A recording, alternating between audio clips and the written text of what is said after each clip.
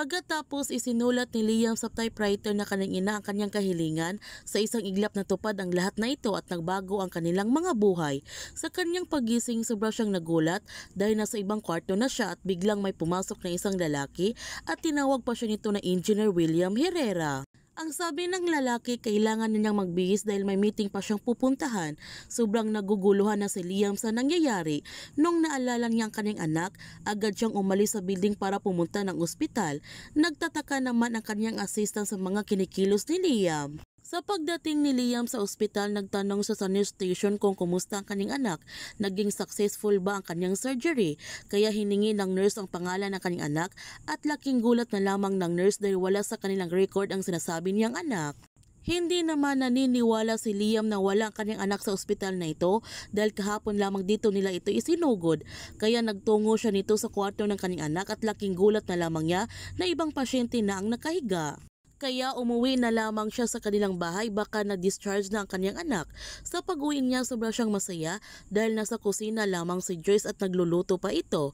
Kaya nilapitan niya ang kanyang asawa at niyakap niya ito na mahigpit.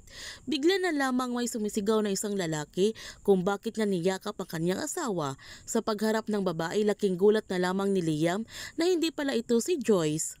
Sobrang nagalit naman ang lalaki sa kanya dahil sa kala nito na minamanyak ni Liam ang kanyang asawa kaya tumakbo ng mabilis si Liam palayo sa kanyang bahay dahil panigurado kapag inabutan siya ng lalaki, bugbog sirado siya nito. Sa pagdating ni Liam sa kanto pinagtutulungan siya ng mga tambay sa pagbugbog dahil ang akala nila siya isang manyakis.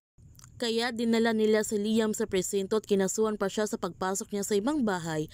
Nagpapaliwanag naman si Liam na bahay niya iyon at nagkakamali lamang siya sa pagyakap dahil ang akala niya asawa niya ito at mas maganda pa ang kanyang asawa sa babae na iyon. Hindi naman naniniwala ang kapulisan sa mga sinasabi ni Liam at ang akala nila hindi pa ito nahimas-masan sa mga tinitira nito kaya ikinulong nila si Liam. Mga ilang minuto sinabihan siya ng pulis na makakalaya na siya sa paglabas ni Liam sa kulungan. Sobra siyang nagulat dahil naghihintay sa kanya ang kanyang ina. Niyakap niya ito ng mahigpit dahil sobra niya ito na miss. Nagtataka naman ang kanyang ina sa mga sinasabi at kinikilos ni Liam na parang matagal na silang hindi nagkita. Ngunit ang akala ni Liam na isang panaginip lamang ang lahat na ito, kaya pilit niyang ginigising kanyang sarili dahil gusto na niyang gumising sa panaginip na ito para makasama na niya sina Joyce at Dex. Kaya lumabas siya ng presinto para gisingin ang kanyang sarili at sumigaw siya sa pangalan nila Joyce at Dex. Muntik pa siya nito masagasaan at nawalan nga siya nito ng malay. Kinabukasan sa kanyang paggising, sobra siyang nagulat dahil nasa ibang kwarto na naman siya at may isang magandang babae na tinatawag pa siya nito ng love.